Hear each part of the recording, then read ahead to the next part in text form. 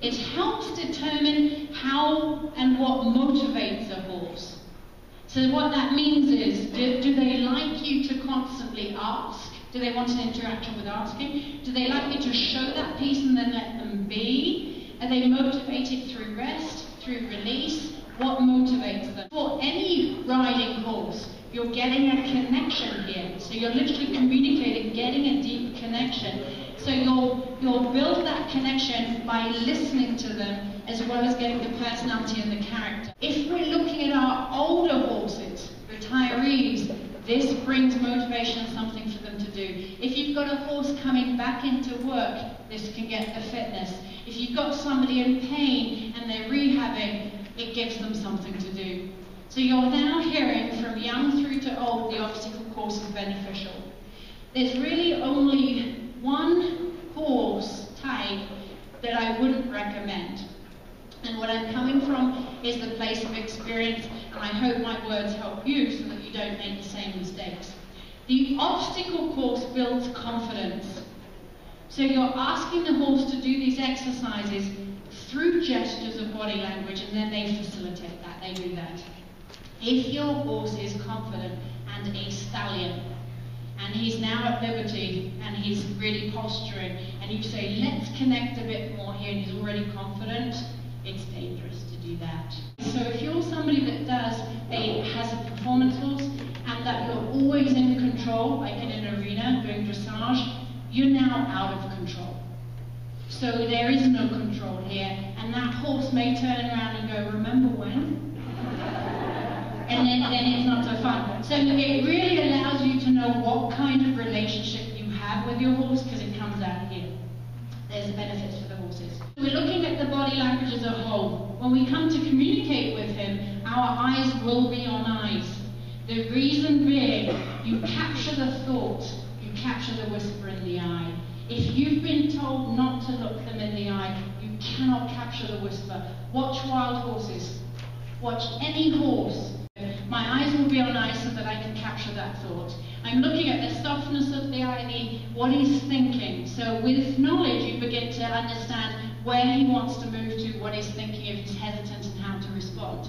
If we're on the left side of the horse, we can block him on the left and he'll go right. If we're on the right side of the horse, we block right and he will go left. If we get in front of the girth area, we will either draw the horse to us, slow the horse down, block him, change direction, think I said draw him to us, or indeed challenge him. I'll qualify this in a minute. Okay, so on the breakaway back at 45, he's looked at the chairs, his head's tilted to say he's looking at the chairs. My eyes are on eyes, and I'm going to ask him to go forward. And what I'd like him to do is just explore the arena and make sure he has a good look around. You're going to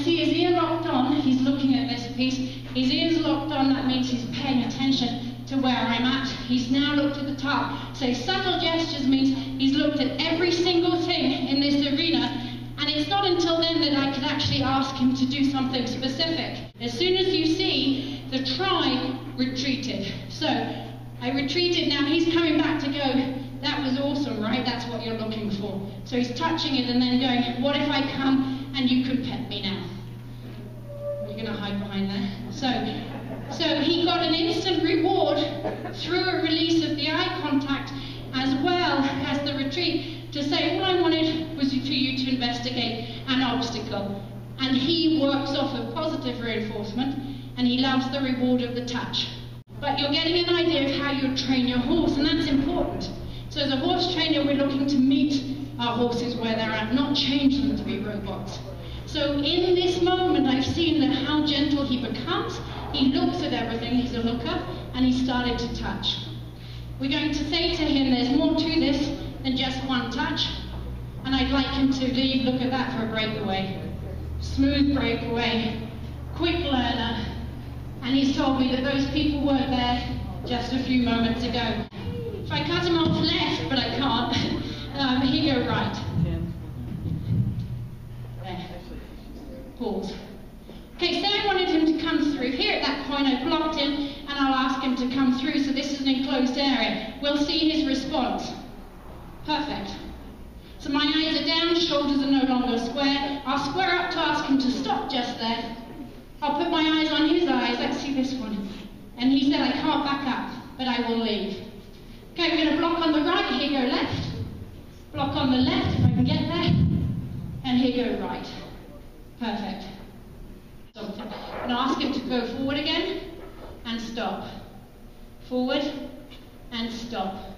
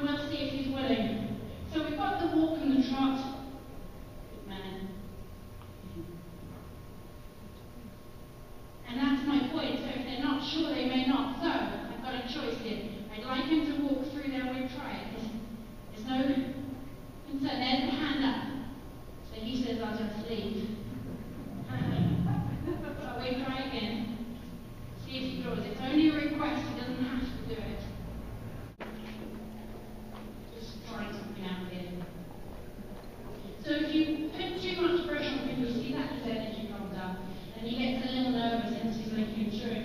So for me, keeping it slow, keeping it calm, is actually the key, and not pushing him through it. And hence he's a cute little fellow going, trying to do his best. That's the read you'll get on him. He's really, really, really special. Great guy. All right, let's come over here. So the shoulders round, the eyes are watching his feet. But I didn't want him to come all the way up and look at him, but I'd like him to realize this is okay. There's his bubble. And you'll see he's reluctant to come close with those feet. So if you do another read on him as to what we could do now, we could make this smaller, make it just a foot wide, and make it easy for him. And instead of saying you must, and I'm going to put you enough more and you have to, we make it way smaller and move it dirt over it and encourage him to go that way. Your presence. If I want to bring him down to the walk, I can draw my eyes to behind the feet back here, slow my feet down, and visualize the one, two, three, four beats, and he'll respond accordingly. So if I think trot and I bring up energy from my body, there we go, he can trot. So you've got to be very cautious as to what you're doing. Here's the block of the body language. Here's the block to ask him to stand. There's acknowledging the try. If we move right now, he's asking where I'm going. So if I move right, ask him to move his nose and block. It's that simple. He says, Do you want me to touch that chair again? So go to his left and move his nose over. You'll see the moving of the nose. Move the nose over again and ask for a step. So that's how subtle it is. See the opportunity. He's never touched that piece. Don't be goal oriented that you get stuck on what you're doing. I'd like him to bring up his head, so I'll first visualize and then show him that.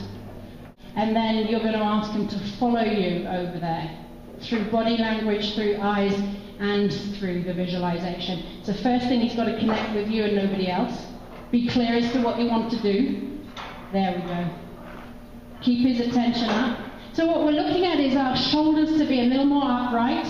Shoulders upright. Because you want to walk like a leader, and leaders don't walk round.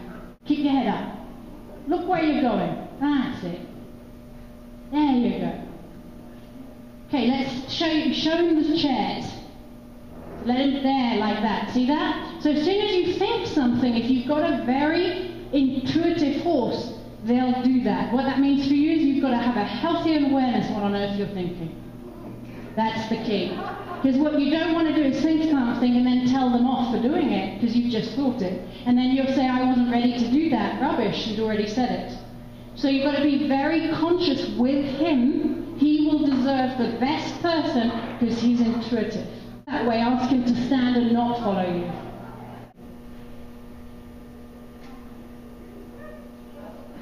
Okay, so what did we need to change? You walked off and you had no clue what he was doing. Let's try that again. So you're going to learn from people, and the key is if you just wander off, he's going to come. So you've got to have that clarity of it, and the body language has to match your vision. Has to.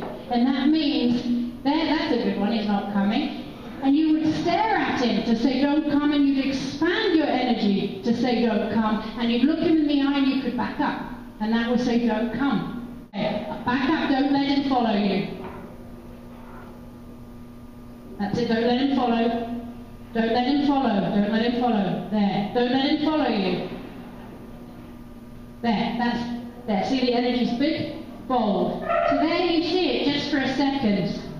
Yeah. So the eyes are up, the body's square, I'm saying don't follow. And he's not even thinking of follow. And when he gets the eye contact back, you can draw him to you. Get your eyes on eyes now. And then when he looks at you, drag your eyes to your feet. Now, you guys see that? And stop your feet. Stop your feet. Stop. Stop. Perfect. And praise him. Well done. Well done. See, you guys can see the value of the eyes and now realize what are you doing at home? Is it conflicting messages? Because these guys are the most patient species on the planet. Most patient. And the cool thing Cool thing about all of this, they're waiting for you to learn. And they will forgive you the moment you learn. Thank you.